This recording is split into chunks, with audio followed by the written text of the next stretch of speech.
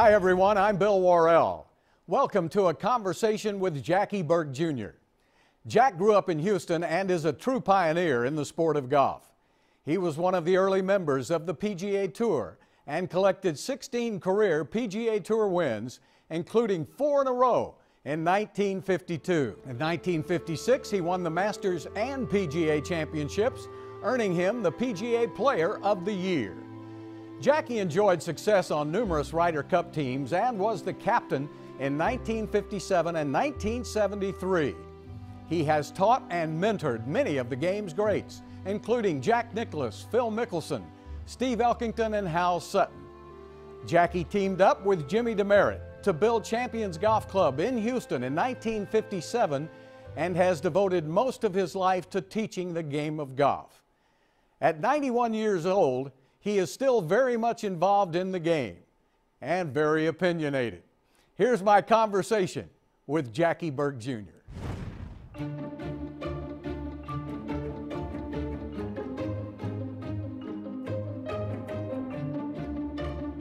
I've always thought of you as a Houstonian, but you were actually born in Fort Worth. Didn't take you long to get to Houston, but No. uh, how did that come about? My dad was from Philadelphia, and he used to teach in the wintertime at the Rivercrest in Fort Worth. And your dad came down here for the River Oaks job? The River Oaks people, a man named W.C. Hunt knew him, and he asked him to come to River Oaks and uh, take the job. So he came down here, and there was only one other club, uh, Houston Country Club, had a man named Willie McGuire from Boston. The game, I mean, th- you're talking about zero people have never even seen golf. And so when he brought Donald Ross down to build a golf course, and my dad was a greenskeeper and the pro.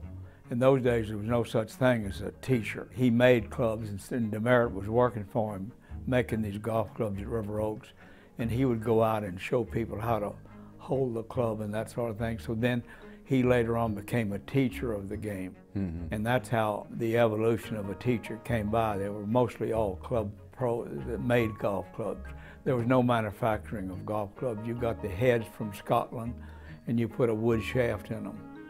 And that was it. How many teachers were there? Well, Jack Grout used to come through here. Jack started Jack Nicklaus. Of he course. started Jack Nicklaus. Mm-hmm. And Babe Zaharias would come through here. So he started Todd Menifee over in San Antonio and Levi Lynch in Dallas. He taught Demaret because there were no teachers. There might have been two teachers somewhere, but he was one of them because he came from Philadelphia where it all started. My dad would teach. He said it's a simple game, teach simply. He didn't want anybody going to that first tee with much on their mind. He would teach you to take the end of the, that club and point it to where you're going and finish the shaft on your neck.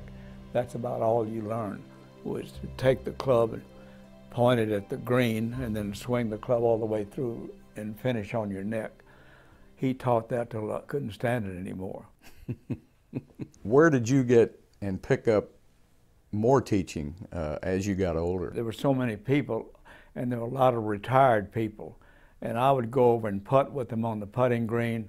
I remember a man named Mr. Fusler. I was putting with him and Mr. Ahern at River Oaks Country Club. I remember all those guys. And they were retired, and Walter Weathers, and I'd put them for quarters and try to win a few dollars. And I never will forget it. Mr. Fusler gave me $300 after the summer. I've never seen $300 in my whole life. I've never even heard of it. He gave me $300 for teaching me. So I was a pro when I was about nine. You were a Houston guy, then you Went to St. Anne's School. went to St. Anne's and St. Thomas. Right. Then World War II came along. Tell Right. us a little bit about. Uh, Well, the Galveston Country Club job opened up, and uh, they hired me to come down there and work at Galveston. And that's when I was started down there. And then the war broke out, and then a storm came through there and moved my pro shop about one mile down the road. I said, well, the Army was trying to get me in there, and I, I had read how, how good the Marines were at war. And I said, well, I'm going to go with these guys. And then when I got out in the Marine Corps, I swore, I, I said, what in the world were you thinking about getting in this outfit? after you got out of the Marines, then where did you go? There was a locker room man named Oscar Collins at River Oaks Country Club, and I would went back there just to see Oscar. He about half raised me. And uh, he said, what are you going to do, man? And I said, Oscar, I've got $300 that I mustered out with. That's it. So he went down to one of the members named D.B. McDaniels and said that little Jackie is not have, doesn't have any money to get started. Mr. Mack sent me a blank check and tell, he said, tell little Jackie to fill it out. So I, put $2,500 down and I went to St. Louis and I shot 75, 75 and I'm riding in with Craig Wood. He said, you going to pursue this thing? I said, Craig, I don't know what I'm going to do tomorrow. He said, come up to my room. I know where there's a job. Within an hour, I'm on a train going to New York because he got me a job at the Hollywood Club in Deal, New Jersey. And I started there. And then I went to Wingfoot, and then I got my own club in White Plains. Going to Wingfoot put you uh, starting with Claude Harmon, one of the great teachers of all time. Uh, that, that was a great experience, I guess, to be with him and, and at a young age. It was. I, I didn't know Claude. Cra Craig Wood was a member there, and so was Tommy Armour, a member at uh, Wingfoot. But uh, I went to work for Claude, and I never forget, I sold a set of clubs for him. And I used to do this with my dad. I'd call MacGregor, MacGregor Golf Company, which was the, one of the biggest then. And so I sold a set of clubs, and I'll call MacGregor to get them to order them. And the guy said, Jackie, Claude is COD to us. I said, Claude, you're COD to MacGregor, cash on delivery. Oh, he said, I'll get that fixed up. I said, no, you stay teaching, I'll fix it up. so I got his credit back. And then we used to teach, I used to teach out there. Claude would, I taught Butch and, and Craig and, Dick Harmon. I'd be sitting in there waiting for my next lesson. He said, go teach the kids. I said, I just got through teaching them.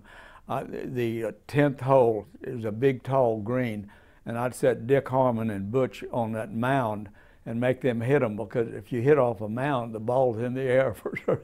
I said, go tell your daddy you're hitting them up in the air. ben Hogan would go over on Jackrabbit and practice down the 10th fairway because it was always the wind was on his right. This one player here said, Mr. Burke, could I go over there where Mr. Hogan's practicing and uh, hit balls. I said, the very second you win 60 tournaments, you can you go over there.